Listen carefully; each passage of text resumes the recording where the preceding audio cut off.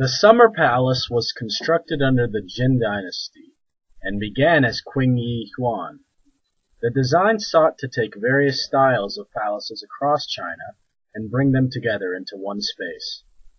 The Summer Palace is an interesting mixture of landscape and buildings. The many pavilions, corridors, bridges, temples, and palaces do not disrupt the astounding landscape of the area.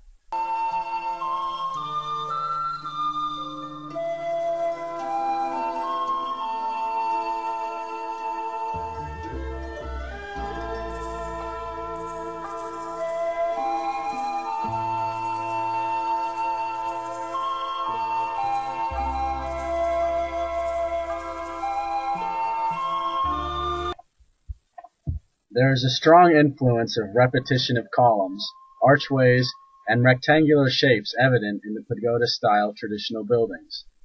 The great palaces shoot skyward, cascading down through a series of roofs and columns. The roofs themselves are layered with tile, very ornate and pattern-like. The only thing separating the buildings, and perhaps defining them, is the statues on the roof's ridge, often sitting above the main entrances of the temple.